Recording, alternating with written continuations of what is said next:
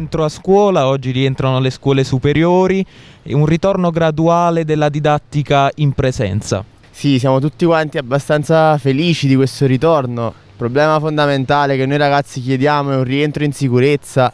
Spero che questo sia il giorno e sia l'inizio di una, un nuovo periodo, un periodo positivo per i ragazzi. La didattica a distanza non funzionava e penso che continuerà a non funzionare. Il rientro in sicurezza è l'unica cosa che chiediamo e vogliamo ottenere. Spero soprattutto che tutti quanti abbiano coscienza di ciò che fanno perché comunque è un rientro particolare come ben sappiamo e spero soprattutto che questa didattica a distanza sia abolita in parte e sia sostituita dal rientro in sicurezza pensare di fare un esame di Stato tradizionale penso non sia consono alla situazione, i ragazzi si trovano da più di un anno in didattica a distanza e comunque le lacune se non sono ancora emerse emergeranno, si evidenzieranno nei prossimi mesi. Io penso che noi abbiamo diritto a fare un esame semplificato e noi abbiamo diritto ad essere agevolati per quanto ovviamente sia corretto farlo. Spero in un esame di Stato più facilitato ma che allo stesso tempo mi garantisce una buona preparazione per l'università. È sempre un momento speciale, siamo un po' emozionati di tornare, anche se gradiremo che la scuola ci mettesse a disposizione tutto il necessario per garantire non solo un distanziamento ma anche una sicurezza. Ho la speranza di passare anche questo brutto periodo e di tornare tutti, tutta Italia a scuola. Finisce quindi oggi o almeno in parte la didattica a distanza, dopo un lungo periodo si ritorna alla didattica in presenza? Beh, ovviamente sia la didattica a distanza sia quella in presenza hanno i propri pro e contro. Ovviamente però la didattica a distanza non ha la capacità appunto di garantire quell'apprendimento e non è stimolante quanto la didattica in presenza. Quale sarà l'impatto con uh, i compagni, con i professori, con comunque questa didattica che sarà comunque un misto tra le persone a casa e le persone in, in presenza in classe.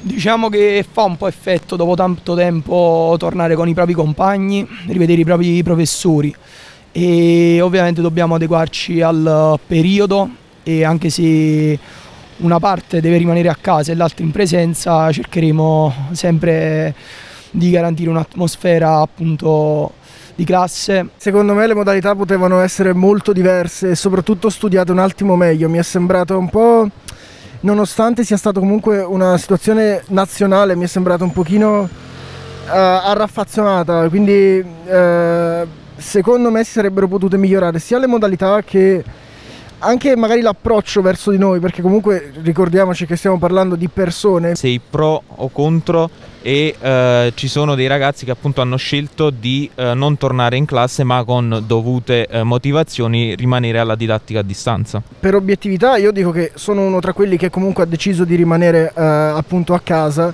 per motivazioni che vanno ovviamente oltre la mia non volontà di tornare a scuola. Comunque in generale sono abbastanza pro perché soprattutto noi ragazzi di quinta, ma anche i ragazzi di quarta, ehm, le parti di, di, programma, ma anche semplicemente la preparazione all'esame nel caso nostro, in DAD non è fattibile e quello che è stato fatto finora non è oggettivamente equiparabile a quello che abbiamo fatto negli anni precedenti. Oggi è un giorno speciale per tanti studenti di Torre del Greco, ma in generale di tutta la Campania.